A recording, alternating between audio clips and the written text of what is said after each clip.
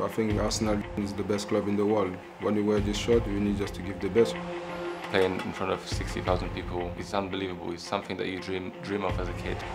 Playing for Arsenal, one of the biggest teams in the world, in the best stadiums as well, you know, it's, it's, it's great just to be part of that. I think there's class about Arsenal, not only on the pitch but off the pitch as well.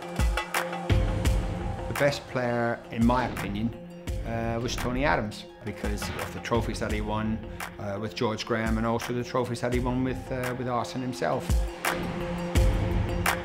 New kit I, I do like. The crest is totally different from what it used to be using all the past kits, you know, putting it one together. I quite like the fit as well. Um, yeah, and it's keeping to traditional colours. The kit is a very nice kit. I think it's different, you know, always. I think Nike did very well because always you challenge just to try to help the player, but I think this one I like it.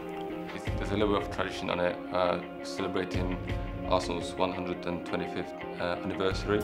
And I'm, I'm honoured to, to be wearing this shirt. I want just to say to the fans, thank you for for the support because when the fans come in the stadium, support helps. It's help a lot, you know. The away support is, is unbelievable. I think it's the best uh, support in the country. Message to fans would be, you know, you, you cheer us on every game. You're our 12th man. You know, show tremendous support to us every game. We want to get to finals. We want to win trophies. Just keep on believing in the team.